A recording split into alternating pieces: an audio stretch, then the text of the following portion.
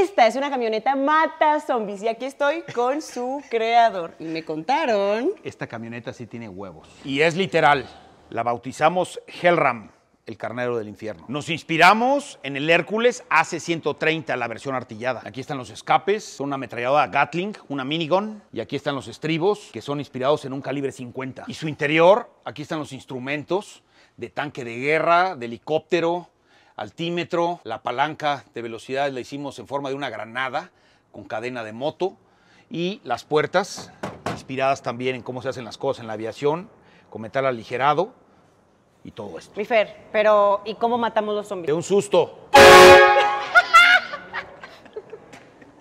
Después del susto, ya me contaron que el claxon es de barco.